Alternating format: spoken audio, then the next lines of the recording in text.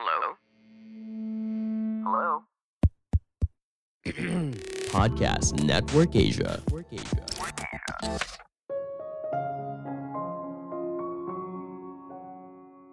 Kita tidak dikelilingi oleh orang bodoh, kita hanya tidak tahu cara berkomunikasi yang baik. Halo semuanya, nama saya Michael. Selamat datang di podcast saya, Sikutu Buku. Kali ini saya akan bahas buku Surrounded by Idiots karya Thomas Erikson. Sebagai informasi, podcast Sekutu Buku sekarang bergabung dengan Podcast Network Asia dan Podmetrics loh. Sebelum kita mulai, buat kalian yang mau support podcast ini agar terus berkarya, caranya gampang banget. Kalian cukup klik follow. Dukungan kalian membantu banget supaya kita bisa rutin posting dan bersama-sama belajar di podcast ini.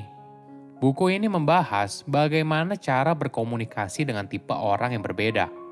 Apakah kamu pernah merasa kesulitan ketika berinteraksi dengan orang lain? Perlu kamu sadari, orang yang berbeda membutuhkan teknik komunikasi yang berbeda. Dengan memahami perilaku seorang, maka kamu akan lebih mudah menjalin kerjasama. Saya merangkumnya menjadi tiga hal penting dari buku ini. Pertama, alasan sulit memahami orang lain. Ketika seorang psikolog bernama Thomas masih muda, dia punya pandangan sempit kalau ada dua tipe orang. Orang yang sepertinya cocok dan paham apa yang dia katakan, dan tipe kedua, orang yang sepertinya tidak paham apa pun. Namun, ketika usianya 25 tahun, Thomas melakukan interview dengan seorang CEO berusia 60 tahun bernama Sture. Dia mengatakan kepada Thomas kalau dirinya dikelilingi oleh orang bodoh. Ketika percakapan berlangsung, Thomas bertanya kepada Sture, siapa yang merekrut orang bodoh tersebut? Tentu saja, Sture yang merekrut mereka semua. Hal ini akhirnya membuat Thomas menyadari kalau sebenarnya Sture tidak dikelilingi oleh orang bodoh, tapi Sture tidak mampu berkomunikasi dengan baik. Dia tidak sadar kalau setiap orang punya profil perilaku yang berbeda, sehingga kamu tidak bisa berkomunikasi dengan cara yang sama untuk setiap orang. Ketika kita berbicara dengan orang lain, biasanya orang tersebut hanya menerima pesan yang dia mengerti. Sebuah pesan jarang sekali diterima seutuhnya seperti yang kita harapkan. Oleh karena itu, kita harus menyesuaikan cara komunikasi berdasarkan pada perilaku orang yang berbeda. Dengan cara ini, kita berusaha membantu orang lain untuk memahami apa yang kita sampaikan. Apakah harus begitu? Tentu saja, apabila kamu ingin menciptakan komunikasi efektif, kamu perlu beradaptasi.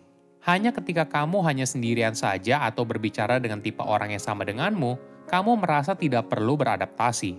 Namun, di dunia saat ini di mana kita harus berkolaborasi dengan berbagai tipe orang yang berbeda, maka ini adalah seni komunikasi yang harus kita pelajari. Empat abad sebelum Masehi, bapak dunia kedokteran bernama Hippocrates menyusun teori kalau temperamen setiap orang adalah hasil dari keseimbangan atau ketidakseimbangan antara empat cairan yang mengalir di dalam dirinya, darah, empedu kuning, empedu hitam, dan dahak.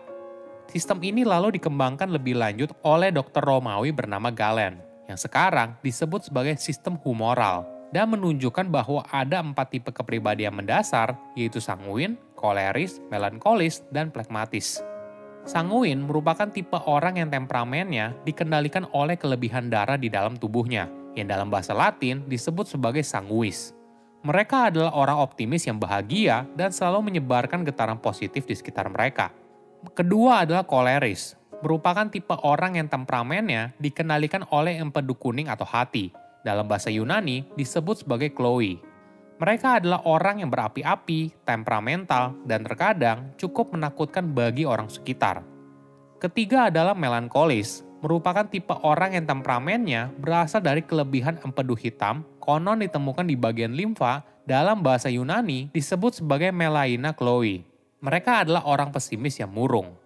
Keempat adalah plekmatis, merupakan tipe orang yang temperamennya dipengaruhi oleh otaknya, di mana orang Yunani percaya lendir berasal dalam bahasa Yunani disebut sebagai flegma. Mereka adalah orang apatis dan lamban. Empat tipe kepribadian ini berkorelasi dengan sistem DISC atau DISA yang ada sekarang.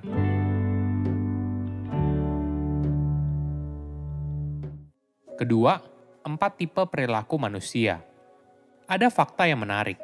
Psikolog Walter Moulton Marston menyadari kalau perbedaan yang jelas antara setiap orang dapat dengan mudah dijelaskan melalui empat hubungan yang berbeda antara seorang individu dan lingkungannya, yang dia singkat menjadi DISC, yaitu dominance, inspiration, submission, dan compliance.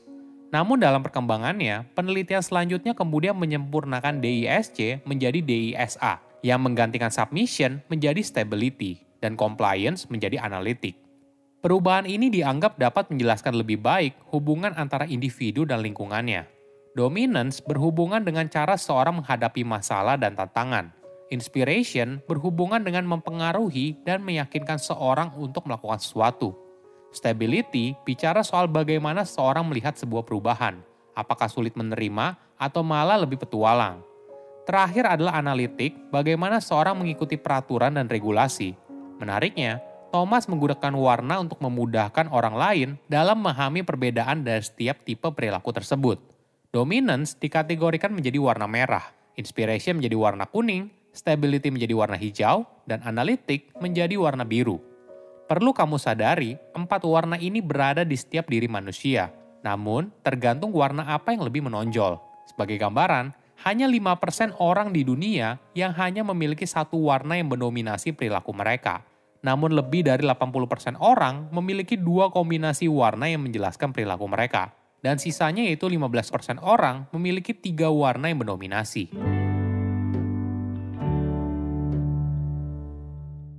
Ketiga, tips berkomunikasi dengan efektif. Tadi kita sudah membahas bagaimana perbedaan dari setiap tipe perilaku yang ada. Dengan memahami hal ini, maka akan mempermudah kita berkomunikasi dengan mereka. Thomas memberikan saran komunikasi untuk tipe perilaku yang berbeda, khususnya dalam hal memberikan masukan. Tentu saja, mayoritas orang cukup sensitif ketika diberikan umpan balik. Cara yang salah bisa berakhir buruk. Niat kita yang awalnya baik bisa dipersepsikan berbeda oleh orang yang diberikan kritik. Ada beberapa tips yang bisa kamu lakukan ketika menghadapi tipe perilaku yang berbeda. Orang dengan tipe merah adalah orang yang paling mudah untuk diajak berkomunikasi, karena mereka memprioritaskan pecahan masalah dan efisiensi. Mereka akan menghargai pendekatan langsung tanpa banyak basa-basi.